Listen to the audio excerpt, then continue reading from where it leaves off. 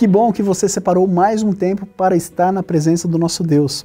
Vamos lá, eu sou o William Assunção e quero compartilhar o devocional jovem de hoje, que traz como título Poder. E o verso para reflexão encontra-se em Efésios 3, versículo 20. Aquele que é capaz de fazer infinitamente mais do que tudo o que pedimos ou pensamos, de acordo com o seu poder que atua em nós. Cremos que Deus é onipotente, mas parece que já nos acostumamos a esperar pouco dele.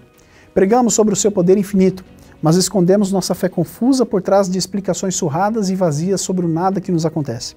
Guardamos caladas em nosso coração algumas perguntas enquanto o que preferíamos era gritar: Se Deus tem poder para fazer tudo, por que não faz logo de uma vez?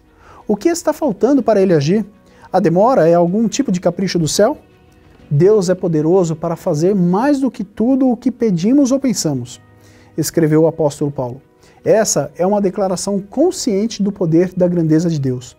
Nunca se esqueça, Deus é maior, mais poderoso, mais sábio do que o máximo que você consiga imaginar. A criatividade dele é insuperável. Ele é poderoso para fazer. Só não devemos encerrar a leitura por aqui e esquecer o restante do verso, que diz: de acordo com o seu poder que atua em nós. Deus tem muitos milagres para realizar, muitas bênçãos para dar, mas alguns de seus milagres e de suas bênçãos só podem ser realizados por meio de nós. Sonhamos com uma igreja mais pura, com um lar mais amoroso, com um país mais justo. E Deus pode realizar tudo isso. Mas Ele não costuma atropelar processos nem desrespeitar individualidades. As intervenções divinas não desconsideram a liberdade humana. Ele tem poder e tem propostas para nós, mas a proposta precisa ser apreciada e aceita. Uma porta precisa ser aberta para que seu poder entre e nos mova na direção do que até então era impensável. Deus pode todas as coisas, exceto nos forçar a fazer algo, por mais simples que seja.